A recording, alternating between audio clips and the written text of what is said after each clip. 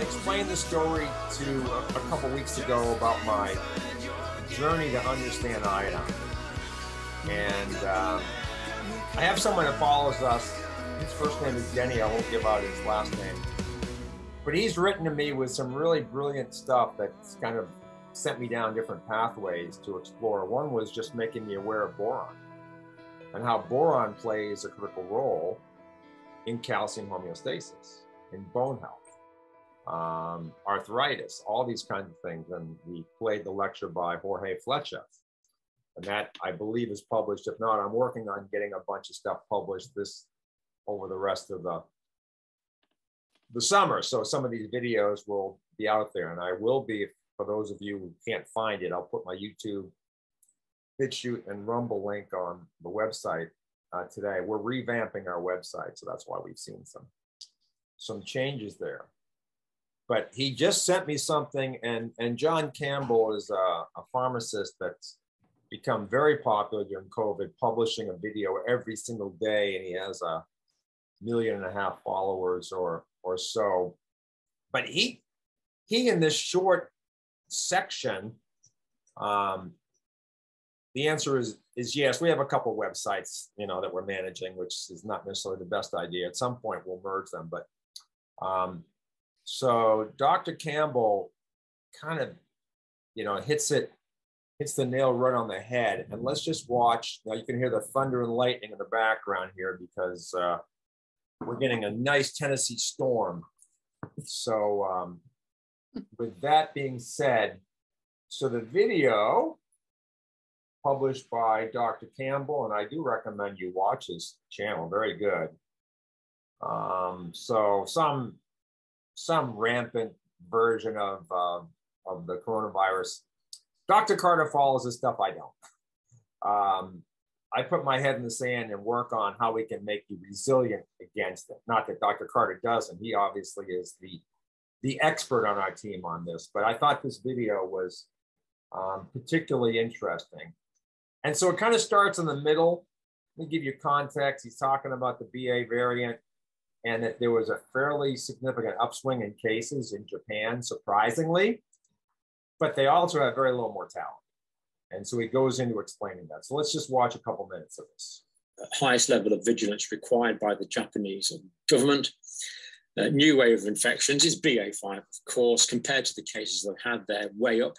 Interestingly, in Japan, disproportionately affecting children and younger people. Now, Japan is interesting. There's something strange going on. They've had very low levels in Japan. Um, so, for example, in Japan, and this is just one of the thousands of things that are going to come out of this pandemic, uh, they eat a lot of seaweed. Um, I've been looking for seaweed in my supermarkets and can't find any uh, seaweed's very high in iodine. When you eat iodine regularly, that tops up the thyroid gland. It fills your thyroid gland up with this iodine uh, storage or thyroxine storage molecule called thyroglobulin. Then when that's full, the iodine starts spilling out and goes into your blood. And you, Michael, do you agree with that statement? Yeah. Mm-hmm. Yeah, I, I, think that's really important. And, and the point I'm going to make here, I'll get, I'm going to reverse it and play that little piece again because it's really important is that iodine, iodine, iodine, whatever we're gonna, I call it iodine. Most recommendations on iodine, RDAs are all, recommended daily allowances are always going to be low. But in the functional community, the, the variation in recommendation goes from 150 micrograms to 100,000 micrograms. Okay, it's a huge, huge variation. Why and what is it based on? What is the root cause uh, basis for the recommendation? And I think it's really important to understand that in some cases, the ones recommending very low levels are right. In some cases, the ones recommending high levels are kind of on the right track. I think their recommendations are, are too high. But Dr. Campbell here says that you know the thyroid is going to suck up some of that iodine, and then it's only when you have excess that it starts spilling over. Now it's never 100% the, the valve is turned off. There's always going to be some spillage, but um, let's go back and listen to Dr. Campbell one more time on this, but we didn't finish his little talk either. New wave of infections is BA5, of course, compared to the cases they've had there, way up. Interestingly, in Japan, disproportionately affecting children and younger people. Now, Japan is interesting. There's something strange going on. They've had very low levels in Japan.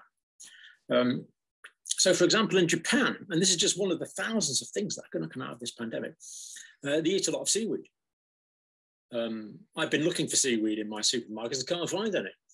Uh, seaweed's very high in iodine. When you eat iodine regularly, that tops up the thyroid gland. It fills your thyroid gland up with this uh, iodine uh, storage or thyroxine storage molecule called thyroglobulin. Then when that's full, the iodine starts spilling out and goes into your blood. And if you've got free iodine in your blood, that iodine goes into your mucous membrane, your nose, your mouth, gastrointestinal tract. And iodine kills all, let me say that again, all viruses. Iodine at sufficient concentrations will kill all viruses and all bacteria. So what we need to do is have a study where we look at people on high iodine diets like in Japan and analyze their mucus. This would be such a simple study to do. Why aren't Big Pharma doing it? I can't think. Um, all we need to do is, is, is take some saliva and some mucus from people in Japan from 1,000 people in Japan.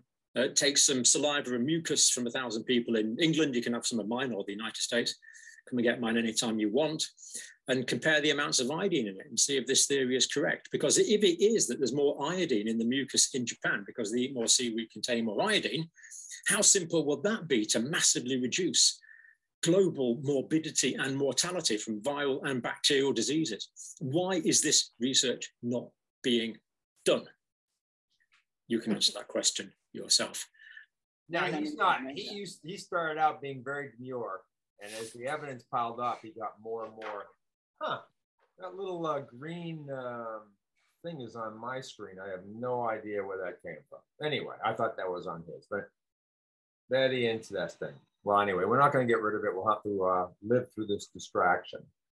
But that that being the case, I've developed a protocol. Dr. Carter and I have. He he, he said it makes sense, thankfully, on how we optimize our iodine intake.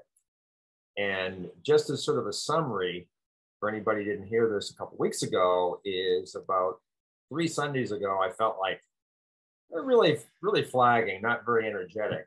And uh, I usually go out, I usually try to put about 100 miles on my bike on uh, you know my pedal bike on, on the weekends um, total in the summertime. And um, i only had like 60 miles on on saturday so i wanted to do 40 on sunday but i felt like crap even at four o'clock in the afternoon. I popped 12 and a half milligrams and i don't recommend anybody do this actually without proper testing. And two hours later i went out and did 40 miles and i felt fantastic. And i've always i'm always looking for rate limiting you know you produce CoQ10. We need to take CoQ10. Well, maybe when under physical exertion, you need to take CoQ10. It becomes limiting. Iodine, same thing. What does iodine drive? T3, your energy hormone. So it, it's it's really important. So let me just see if I can get rid of this crazy. That is the craziest thing anyway. How I turn my screen into a, uh, a chalkboard, I have no idea. So here's the iodine protocol. Um, so most discussions about iodine revolve around Hashimoto's thyroiditis. You want to be careful on iodine intake. And Izabella Wentz, PharmD, is the, the guru on this. And she's very clear. And as I've written in this chapter, I'm going to publish this iodine um, section over the next couple days on my blog. But see, she has what I call selection bias, not by her own fault, but people who come to her generally have Hashimoto's thyroiditis. So, but in, in reality, only one to 2% really have a, a true thyroid disease. However, you know, we've got to realize that iodine is a continuum. I mean, uh, uh, Hashimoto's is a continuum like like anything else. Let me see. Let me find my chart. I'm flipping around a little bit here. So where you are on the Hashimoto's thyroiditis continuum is going to somewhat dictate what you what is sort of a, an optimal or safe level for you. And um, so, not that like throwing your thyroid into a tailspin if you have cancer or something like that is the worst thing in the world. But the point is, in most cases, Hashimoto's is measurable and reversible. And so anybody that has this condition should be working to mitigate it because the thyroid and Hashimoto's, it's really a canary for the autoimmune condition. And nobody wants to have that, that, you know, that bubbling, you know, insidious, uh, simmering condition going on in their body. So so autoimmune disease is a condition in which your immune system mistakenly attacks your body. In most cases, there is a presumption this just happens without some underlying pathology. Tom Blue, the, I'll, I'll pick on Tom. Uh, Michael doesn't mind if I pick on Tom Blue. We're not, um, you know, uh, strategy officer for IFM, and he says all diseases are autoimmune. It's like, no, I don't think so, Tom. If all diseases were autoimmune, we wouldn't survive as a species if our body would just suddenly turn on ourselves and, and attack it, attack ourselves. If this is the case, we'd not survive. In reality, there are very quantifiable causes behind autoimmune diseases. Um, intestinal permeability caused by H. pylori, with references, parasites, reference, I only give one reference of each, incomplete digestion, food sensitivities, and then chronic, often stealth infections, bacterial diseases, including Lyme and periodontal infections, viruses. So once again, we we have a a continuum. So specific protocol for intake of optimal iodine above the RDA, and importantly above what is normally recommended in the functional community with the presumption of, of Hashimoto's. If you don't have Hashimoto's, you can take higher levels. Should you? Well, that's somewhat individual, but it's answered through testing. So here's my specific protocol, and I will publish this without the green little squiggles. Um, perform a complete evaluation of thyroid health. These are the biomarkers that must be obtained. Thyroid stimulating hormone, thyroxine, why I don't, thyroxine, thyronine, T3. I won't try to pronounce them this morning.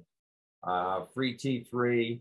Oh, we need a little little guy there. Uh, T4 direct, reverse T3. Dr. Carter, you want to spend a minute explaining what reverse T3 is? Well, I mean, it becomes like an inactive form of your thyroid hormone. So it's kind of like the body is telling you it's trying to uh, break uh, or slow your, um, you know, metabolic processes down. So uh, it's not a value that's uh, obtained by many traditional doctors, but it's an important one because you know TSH by itself is is not very valuable in most instances. Even when you know it's even in the normal range, it still doesn't tell you anything because that you know TSH is thyroid stimulating hormone coming from the pituitary, not from the thyroid. So you could have a lot of you know, other processes going on, negative feedback, you know, mechanisms that you won't um, know uh, unless you measure all of the values, free T3, you know, free T4, total T4 and T3, and, you know, the various, the thyroid peroxidase antibodies, thyroglobulin antibodies, uh, and reverse T3. And of course, on the other side, doing TSI, thyroid stimulating immunoglobulins for hyperthyroidism. So, so that's why it's really, really important to do a full panel um, to really kind of elucidate what's going on with the thyroid gland. Right. Thank you, Dr. Carter. And, and I've tested people that decided to have the full thyroid panel. Um, and um, I have seen significantly elevated antibodies against the thyroid with TSHs at 2.5. And you know Absolutely. that um, the standard of care lab LabCorp says 0.5 to around 4.5 is normal. Yet at 2.5, we're seeing antibodies. And so really, You know, if, if, if you want to be comfortable just with a TSH, you should be somewhere around 0.5, 0.6 to 1.5, no higher.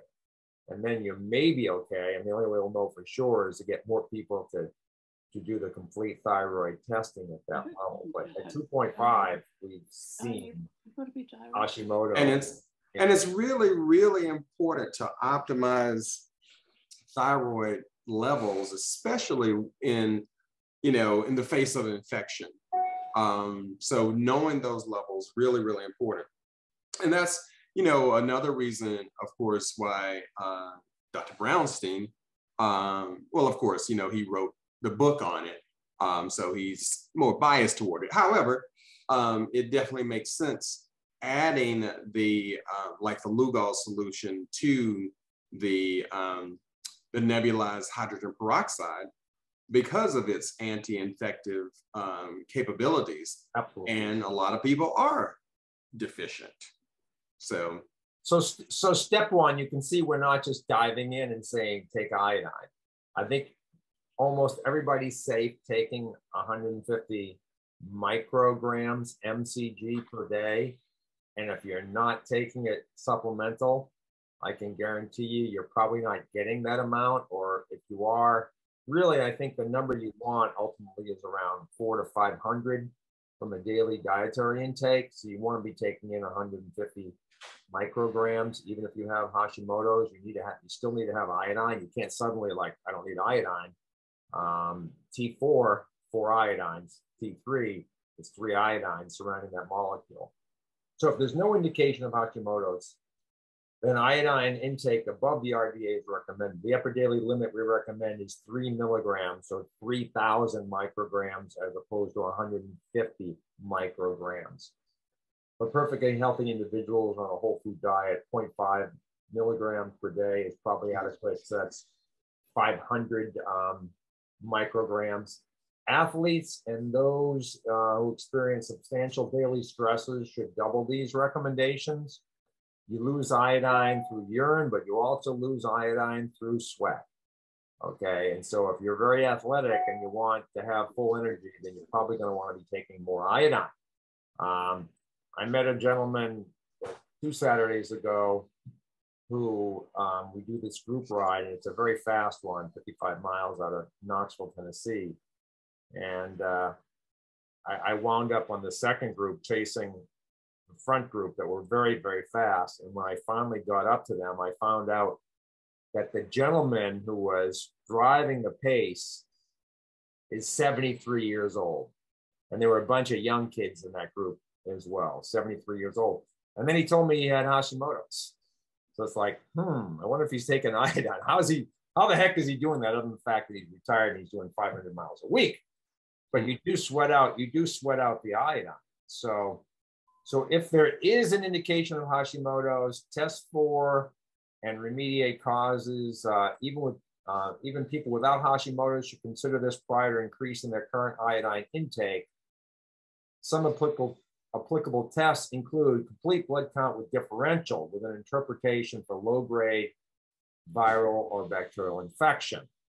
And once again, um, you know, with the example for TSH with LabCorp, their numbers for normal are just incorrect. And the same with white blood cell counts. You got to be looking at the minutia. You're going to be looking at those white blood cell counts with a fine tooth comb, with a magnifying glass. You should be right around 42 to 4,400 white blood cell total count with a neutrophil percent around 56 and a lymph lymphocyte around 45, 46 and a neutrophil to lymphocyte ratio between 1.2 and 1.5. When that's the case, there's really no stealth infection going on in your body. That's how precise we need to get when it comes to this kind of thing. Erythrocyte sedimentation rate, I want it to be less than three millimeters uh, settle a blood settle, uh, red blood cell settling in an hour in a test tube, the erythrocyte sedimentation rate. Anything above that infers internal inflammation and potentially malabsorption. I can't tell which, but um, oftentimes, I don't think anybody has a perfect microbiome. So if your ESR is above two, that's probably, it's probably a malabsorption syndrome.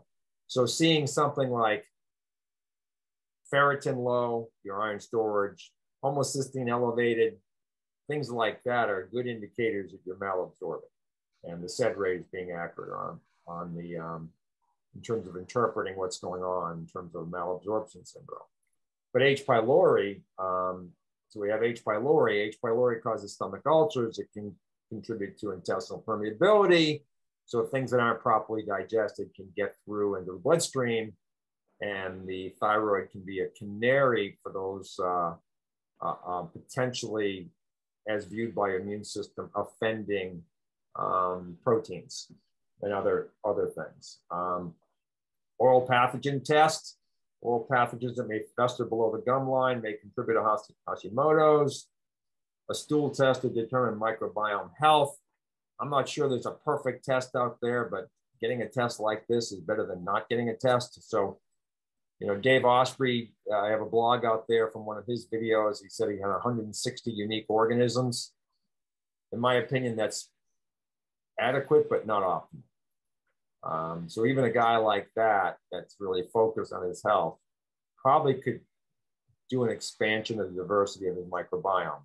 Bravo yogurt has 300 by itself. Equilibrium probiotic has 115 unique strains. Um, fecal transplants, healthy poop, on average 500 strains. So diversity is the most important defense you have against all kinds of diseases and leaky gut syndrome. And then a food sensitivity test, and then work with a practitioner to get these tests and correct any issue uncovered. So step three, after appropriate protocols are completed, retest the steps, uh, retest the panel in step hmm, in step one, oh, oh, panel, in step two, so like the blood count, at a minimum, if these tests, tests are now optimal, retest the comprehensive thyroid panel. Um, adjust your iodine intake by measuring iodine levels and excretion. This is a serum test and a urine test. But um, uh, tests are somewhat imperfect because some iodine is lost sweat. This is why athletes should consider higher doses compared to sedentary people. So test for serum iodine, test for urine iodine, spot in 24 hour, adjust iodine intake, retest for iodine. Ideally, you should plot the iodine excretion level versus iodine intake. This type of chart will help you determine your physiological need. Now, now most of us aren't going to do that. So look, let's let's make sure we don't have Hashimoto's. Let's make sure we have a, a good balance of TSH, T3, T4, and reverse T3 is in an optimal range, indicating that we don't have inactive T3. And then you can probably up your up your iodine. There are very few people I know that um, would do this kind of analysis, but I know Robert, I know you're out there. You would do that. I know you. Um, so I have some people that are very fastidious about blood pressure measurement, lung volume measurements, all, all kinds of different things that are really you know, laser focused on their health. Finally, assume that you have increased your iodine intake above the RDA, periodically test the full thyroid panel. If antibodies uh, present, reduce iodine intake and redo testing for factors that potentially cause Hashimoto's and fix them. But here's the, the bottom line. Do not limit your iodine intake because of a reversible underlying condition because iodine and thyroid are not synonymous. Okay. Iodine has many roles, as Dr. Campbell expressed and Dr. Carter expressed, beyond thyroid health. So we do not want to be limited. You know, um, I don't go on the highway and get behind someone going 30 miles an hour. I'll, go, I'll go past an individual. Um, I won't tell you what kind of car they're driving, but I know what it is. But anyway, that's a, that's a long story. So iodine is a crucial nutrient. Try to take in more iodine than is dictated by the presumed need of your thyroid and the potential for Hashimoto's thyroiditis. And so I'm going to guess that since I ran through that quite quickly, it'll be useful if I put that protocol out on our blog, which um, which I will definitely do. So um, with that, Dr. Carr, any comments or questions on that? Very good. Mm-hmm. I mean, does anyone have questions? Dr. Carter can ask questions to the to us or say something to us that we he already knows that we don't know, and we don't know how to ask the question. Doris, you opened up Pandora's box there, my dear. Um, but but the point is, the point is, women in particular, but men probably are are sort of have their blinders on to thyroid health. Women are very peaked on this topic. Um, it can be a, a big drain on your energy. So, but Hashimoto's may be just a warning signal of something underlying that's affecting your energy. So you you know you got a you know energy, pain, sleeplessness, all, all these all these different things. But so often people come to me and they're blaming their thyroid, but the thyroid looks really good. So we're going to look elsewhere. But a lot of times the thyroid can be a major player in how you feel on a daily basis. Michael, does the thyroid affect cortisol levels at all? Well, I mean, that's the, the other thing. Oftentimes, um, adrenal dysfunction drives thyroid dysfunction because, you know, it's all part of that HPAT uh, axis, you know, the hypothalamic pituitary, pituitary adrenal thyroid axis.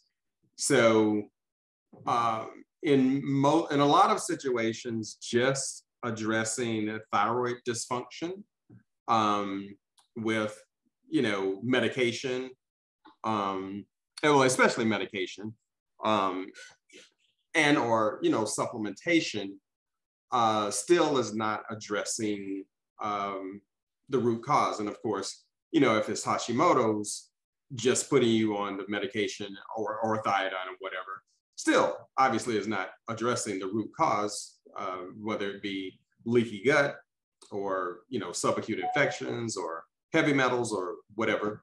But most people um, overlook the the key role that adrenal uh, health has when it comes to thyroid function. So optimizing that, well, testing for it to really see.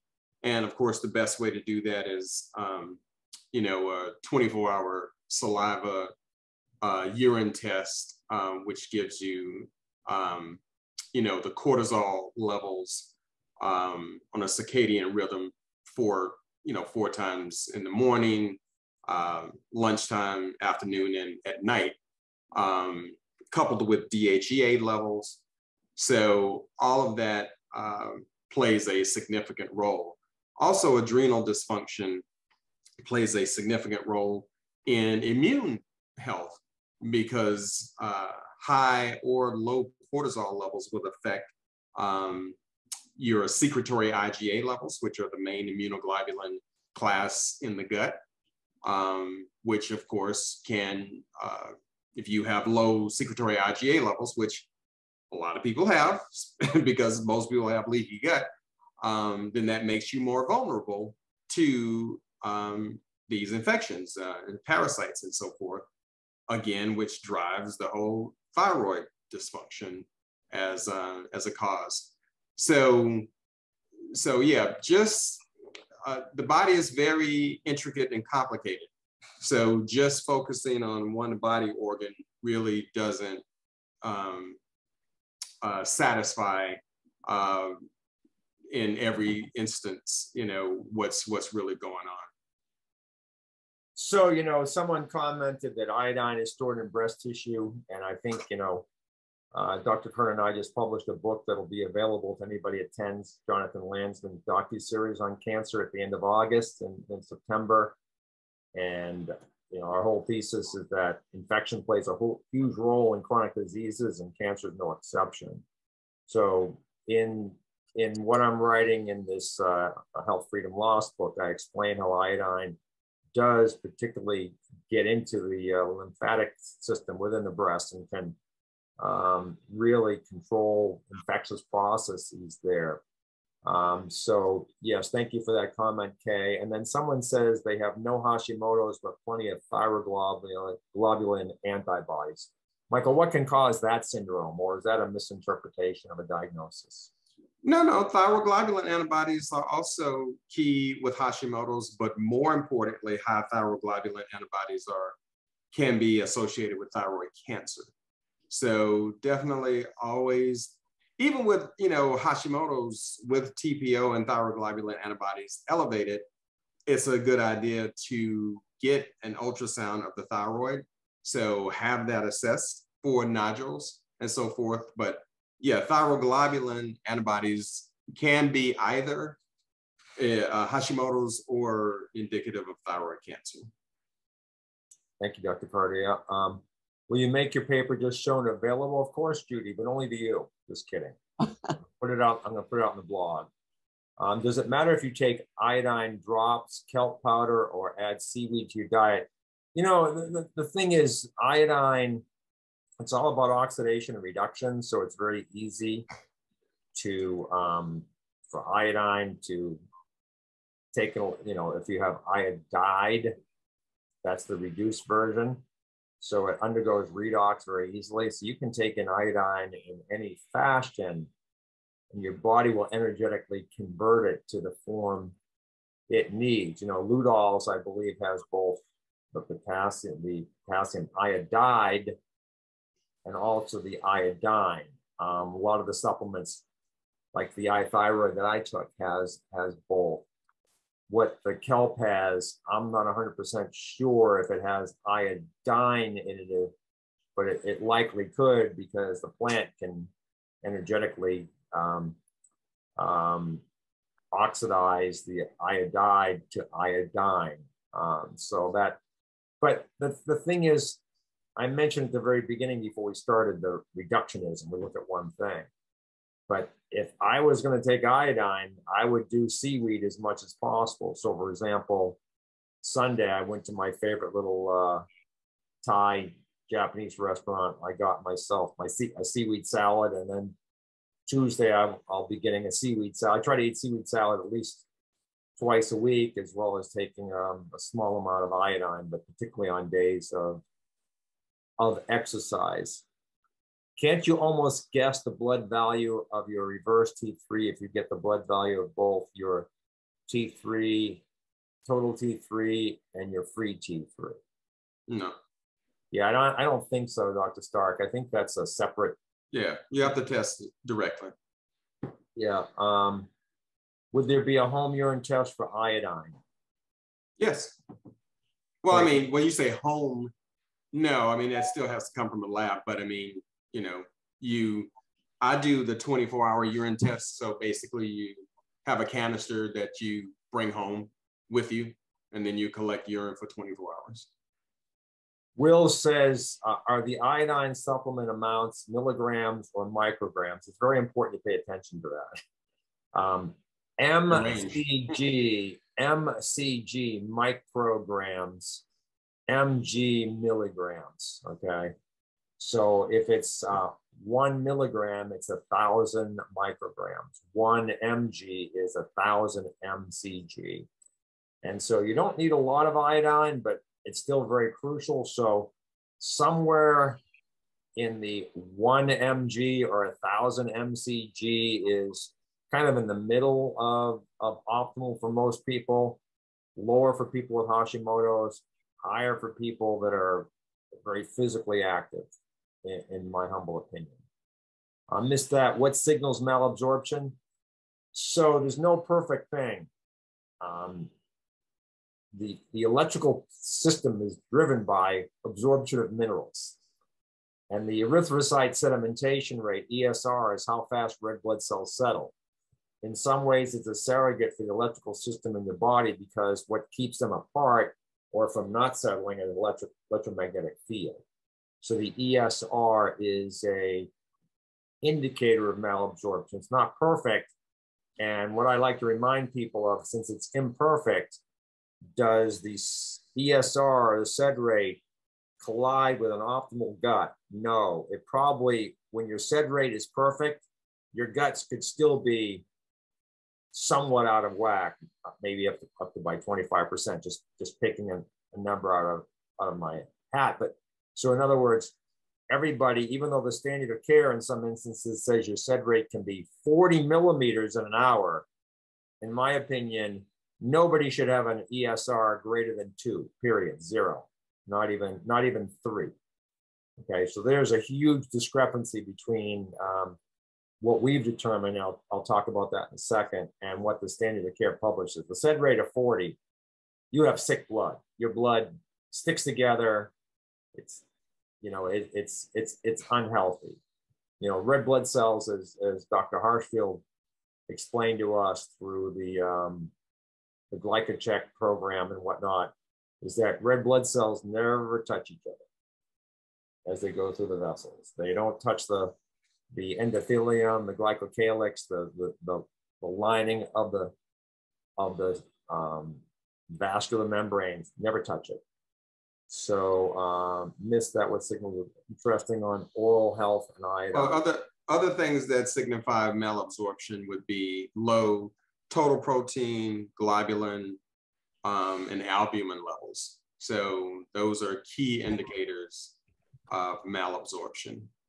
Yeah, and I think homocysteine is uh, malabsorption, can be malabsorption of, I'm not 100% sure on this, but I've seen people just go on probiotics and the homocysteine down. So I think they have a B vitamin absorption issue. And then any kind of iron thing, unless you have some sort of iron disease, which I think most people don't, they have a they have an absorption issue. Right. Um, we are not going to get to um, are not going to get to metabolic stuff today because there are 38 messages interesting on oral health and iodine. I am just Lugol's of water, 50 milligrams to 70 milligrams. So this is a very large amount, milligrams. This is at the upper end of the Brownstein and Jorge Flechas level uh, at a time and swish the solution in my mouth because it feels right. You know, um, what would be symptoms, Dr. Carter, of excess iodine? I know that um, you can have severe flushing and things like that. But, you, I'm, I'm but it, it, it, can cause hyperthyroidism, definitely. So, you know, rapid heart rate. Um, and anybody who's reading this who doesn't have Hashimoto's presumes perfect health you don't just ramp up to 50 milligrams. Yeah, that's a huge dose. Yeah, if, you, if you've taken precious little in your life as a supplement, and you're most likely living in America and not getting a lot of iodine, you're going to start with 150, you know, 150 micrograms initially, RDA, and then work your way up, following that protocol, making sure that you're not in Hashimoto's. So it's all about adaptation. Yeah. Um, so let's see. Susan, yeah, SED plus low ferritin, yeah, and and and high homocysteine. Iodine helps prevent breast cancer, Dr. Bernard Eskin, researcher, yeah, no question. Yeah. Okay. I think you should also have folks measure their underarm body temperature first thing in the morning. Women should do this two or three days after flow starts. Um, Broda Barnes is a great book, Hypothyroidism, the Unexpected, Unsuspected Illness. It makes a lot of sense measuring temperature. Mm-hmm. I didn't put that in the protocol, and uh, guess what? I, I totally forgot about that. But yeah, that should that should definitely be something that people should do. Um, my understanding is you need to fix the adrenals before you can really fix the thyroid, along with, of course, ferreting out underlying causes of the thyroid dysfunction. Agreed, Dr. Stark. Um, using an analog thermometer, wait 10 minutes so we have some information there. Uh, there's old-time doctors routinely gave iodine to patients presenting with fatigue, pain, exhaustion, overweight, and any number of mysterious symptoms, and most of them got better. It seems to me that the current drug lords suppress that. A absolutely, um, and discourage Armour even changing the formula. Any thoughts? Well, I think I think the first thing is um, is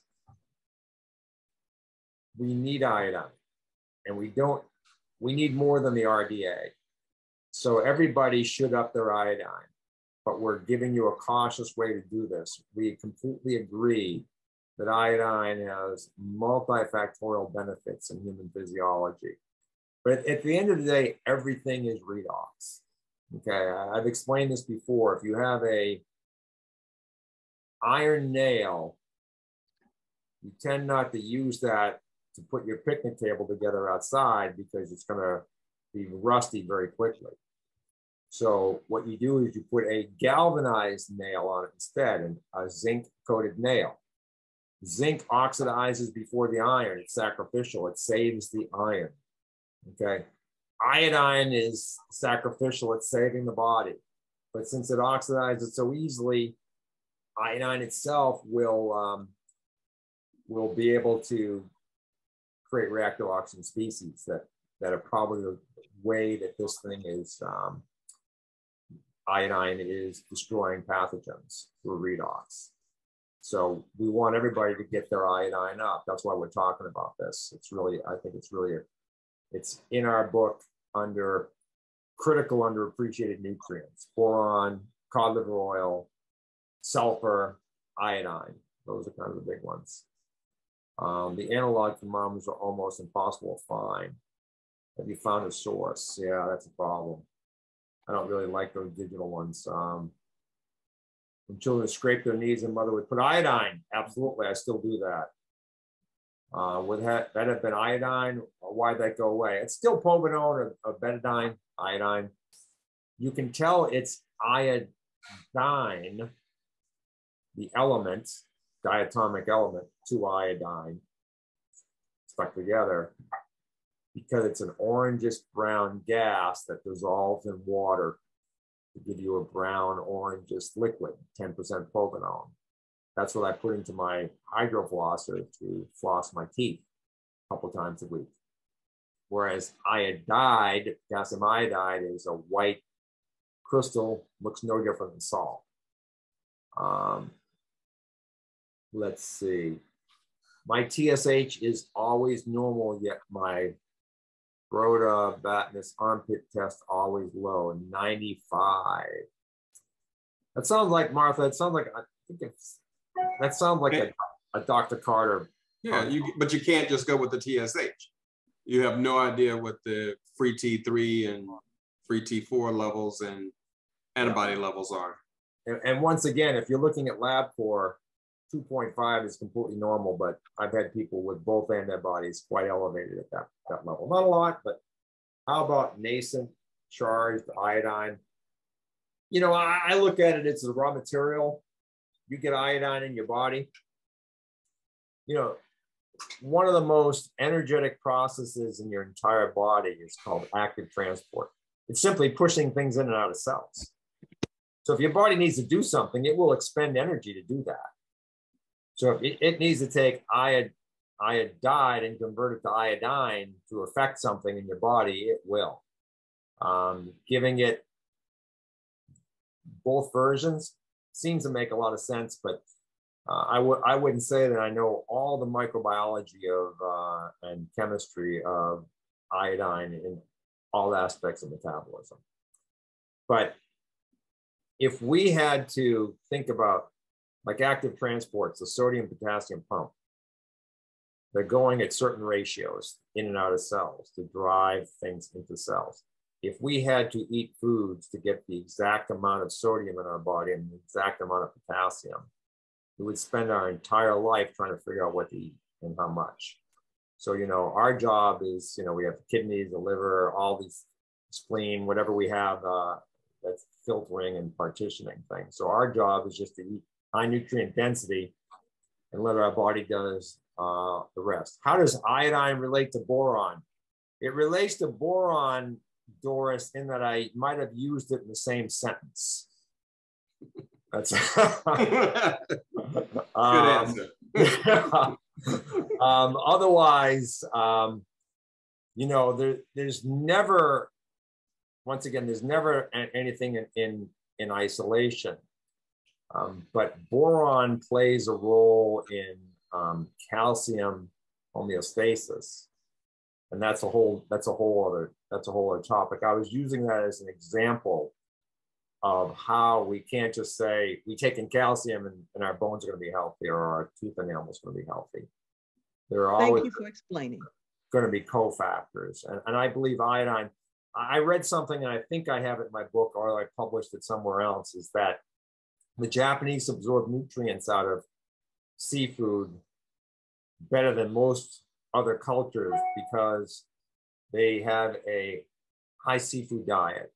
And so they're getting a, probably a lot of cofactors that, that work together. What those are, you know, uh, Dr. Hartsfield can wax elegantly on fucoidan and a lot of the other things that come out of the sea. Um, I like Terry naturally, has three forms. Uh, seaweed is potentially contaminated like most food, and we have no idea. The so yeah, Howie, I, I've is a concern about that. But we always have to look at risk benefit. Your glycocalyx is an extremely important thing, supported by seaweed, fucoidan, iodine, all these things. So, you know, we do have detoxification pathways. So, and the dose makes the toxicity. So I, I look at nature as, as generally healthy. Um, and then we should do detoxifications regularly, but don't avoid a nutrient from a natural source because you'll almost never duplicate those cofactors in a, in a supplement. You know, food-based supplements obviously may have that, but um, they're still processed, maybe thermally uh, treated. We don't know um, versus the versus the natural thing. Like I'm getting some umibudo, so sea grapes, but it's in high salt, or it's dehydrated. What have I lost in that process that I would normally get from the live active uh, sea grape? So just some considerations. ESR, erythrocyte sedimentation rate. I love seaweed salad, but stopped eating it because food coloring was added. I hate that when they put the yellow coloration in it. You know, I, I don't know, but I have one restaurant that certifies no additives, no food coloring. And I will be there Tuesday evening. Um, wow, there's 43 more. time for time for Dr. Hartsfield to come in and say something. um, yeah, the interest is, uh, and, and Dr. Carter was talking about a second ago, Thomas, is that where I really got interested in this uh, iodine, thyroid, adrenal gland axis, and so forth was in trauma patients. And we think about people that thump their head and it it bangs your brain. You get, get traumatic brain injury. The pituitary gland lives in a small little space called the sella turcica, the Turkish saddle. And you can thump your pituitary gland.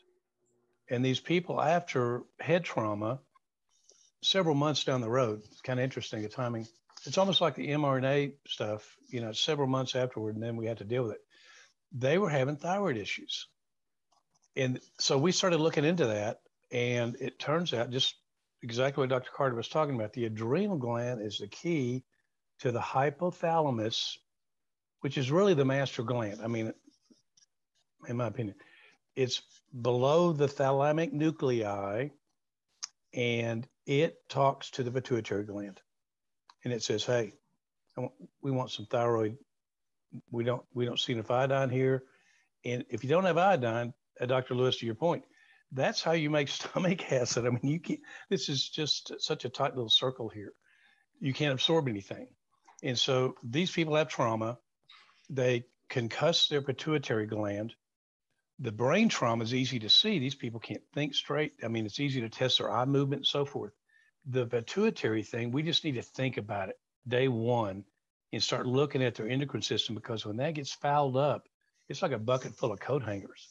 You let that go a year, it is so hard to unravel that. But the pituitary gets stumped. The adrenal gland is fired up because you just got in a car wreck. And it's talking to hypothalamus saying, hey, yeah, we, we got to repair some stuff it sends down that infundibulum to the pituitary said, hey, thyrotropic releasing hormone. Pituitary releases thyrotropic stimulating hormone to the thyroid. And if the axis is intact and you have iodine, you start to f- make thyroid hormone. And like you, we talked about, the key element, iodine is to the thyroid what boron is to the parathyroid. I mean, those are the parent molecules that make each of those endocrine glands work. Uh, parathormone obviously is calcium, but this has to do with energy production. What is really interesting is that T4, it's got four little struts on it. Ideally, they should all have iodine molecules. Problem is the goitrogens, the things that give us abnormal thyroid function, fluoride, bromine, things stick onto the thyroid struts and knock the iodine off. And now you're T4 looks normal, but it's not. It doesn't have iodine. And so let's say it does have iodine, it gets converted to T3. Hey, that's great. T3 goes to the membrane. As Dr. Lewis was talking about, boy, that is the key. That's how you control what's in the cell with what's outside the cell. You have got to have T3, active T3 to do it. But then there's another component, a T2, that goes into the cell and works on the mitochondria. That's energy. Without T2 conversion, your mitochondria don't produce the correct amount of energy. Um, again, this is kind of a long way around. I'll land this plane here in a second. Um, looking at trauma gives us an acute look at something that generally we have to, we see 20 years of issues with iodine metabolism before the patient actually comes to us. And we ultrasound their thyroid, to Dr. Lewis's point. We see a number of things. If we see these cysts, colloid collections, they're benign, but they're like reservoirs of thyroglobulin. Why the heck is your thyroid storing thyroid hormone? But so we keep an eye on these colloid cysts. They're, they're, they're fluid looking on ultrasound with a dot, one little calcification dot. They're very classic, totally benign. Then we start to look at the thyroid as an adenoma, like in the breast, fibroadenoma. It's not cancer, but it's what's going on there. So we see all these nodules in the thyroid gland. Oh my gosh, we start doing biopsies.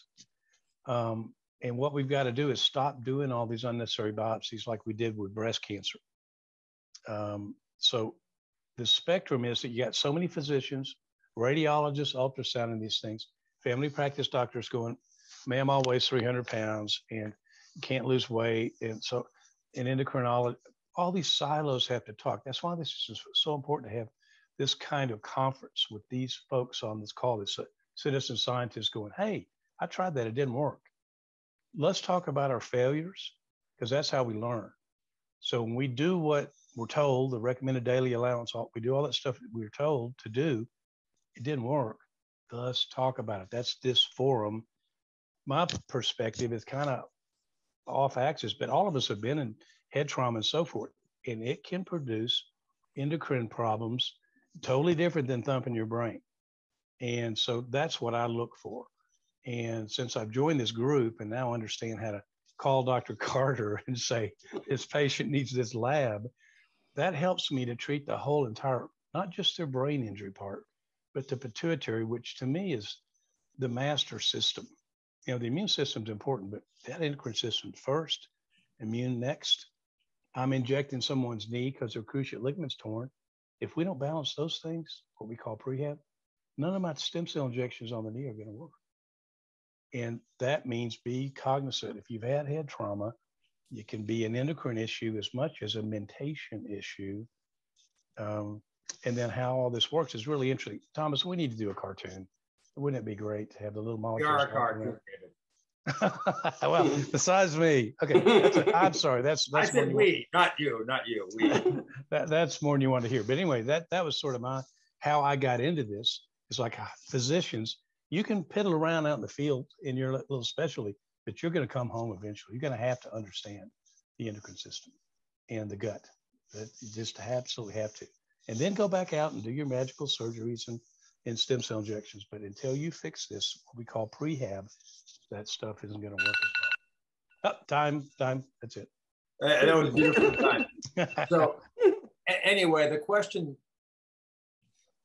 there's a question about nascent iodine, but the other question was about wound healing, about putting iodine on the skin and then following it with MSM, you know, sulfur. But I think you, your sulfur should be internal.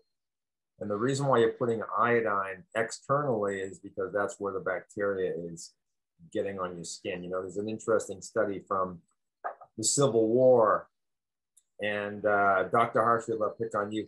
You know what prevented uh, a lot of these wounds from becoming infected? Civil War. That was before autologous blood. They learned about that in World War One.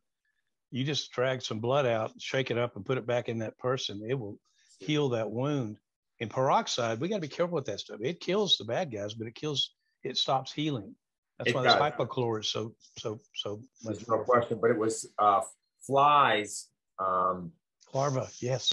fly larvae suck Mhm. up the bacteria. So, um, you know, next time you have a wound, you can use DMSO, you can use iodine.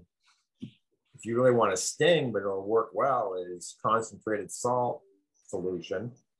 Or you can just, you know, hang out with some flies and they'll take care of you. Or So- hypochlor, just spray some hypochlor. Anytime you get a hypochlor is the way to, way to do it. Um, so, um, is there any test uh, to test iodine levels? Should we supplement daily? And the optimal ranges are, is toxicity possible? Kofi, I'll, I'll put that all out on my blog. You can read through my protocol. Yeah, the the the urine, the 24 hour urine test is, is the the best one to get a really good idea of what's what's going on. Serum is not as as uh, accurate, but it could still be a, a good start. Right. But generally, urinary 24 hour urine is the best test.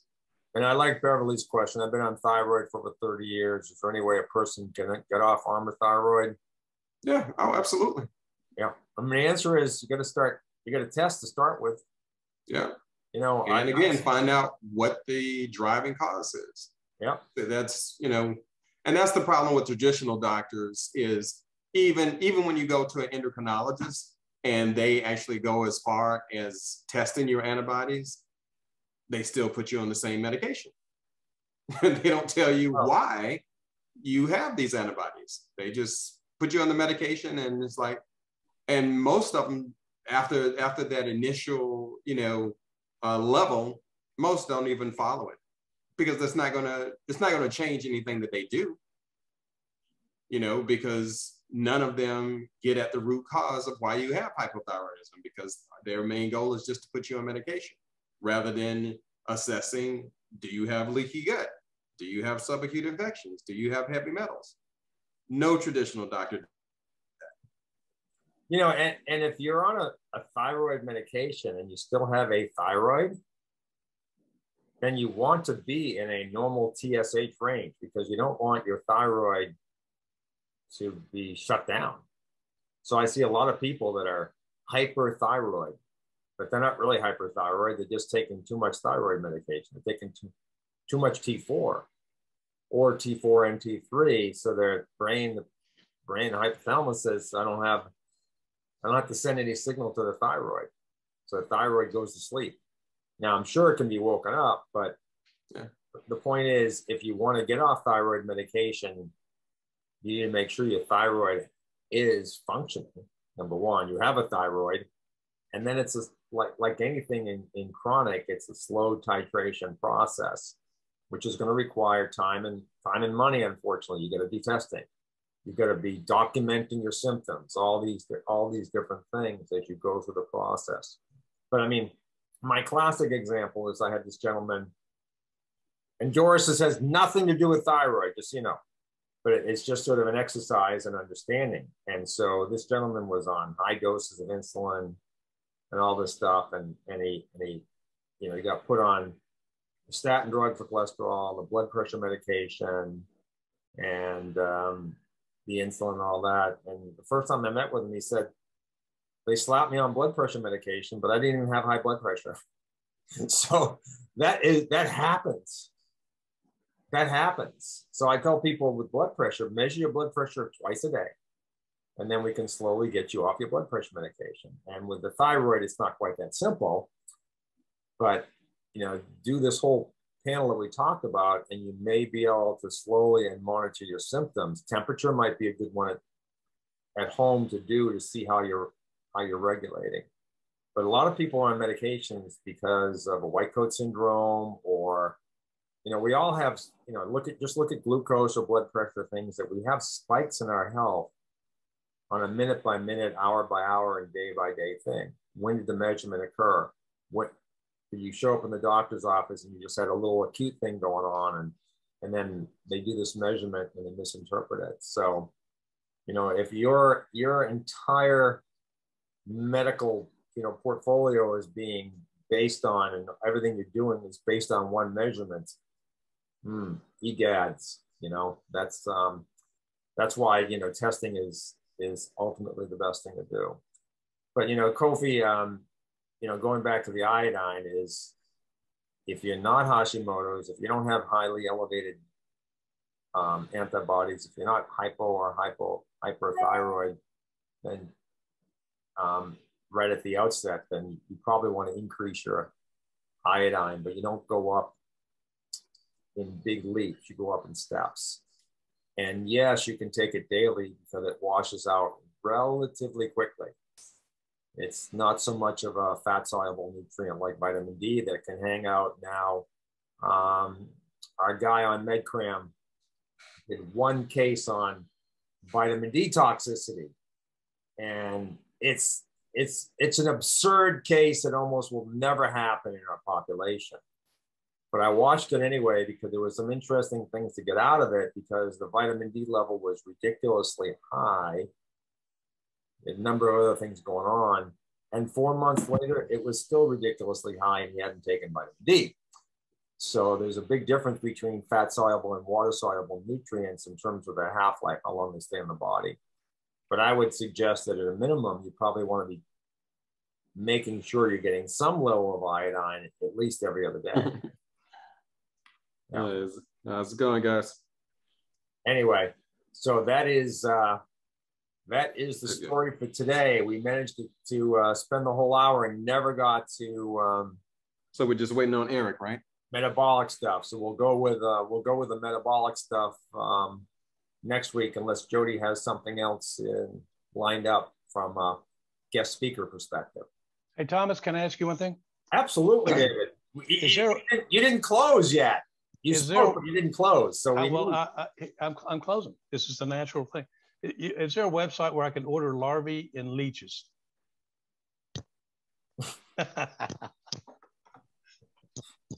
That's what we're going back to. I mean, seriously, people give blood. It makes you healthier to get rid of your old blood. Give blood. So leeches, there we go. In larvae, if you got a little hole in your spacesuit, put some flies on there. Or you can do this. Go to Louisiana, wait around those swamps down there. You'll get everything you need. There you go. I love it. I'm going to give blood in October but uh, yeah, I, I, agree with that. So, so uh, Dr. Laird, you know, his ferritin wasn't even really high, but it was a little bit elevated in terms of what we want for an optimal normal. And he gave blood, and he said he immediately felt fantastic, much mm-hmm. better. So um, at some point we'll have Dr. Laird on again because he has some other interesting topics other than talking about um, GMOs, but I think sharing his experience on giving blood would be very instructive because we all need a little motivation myself.